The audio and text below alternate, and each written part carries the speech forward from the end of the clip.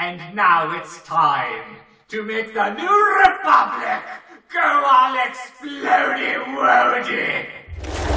Fire the weapon!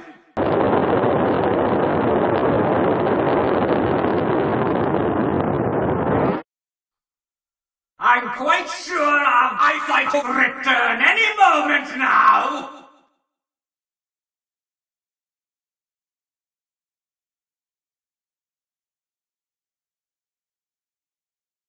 Who was in charge of protective eyewear?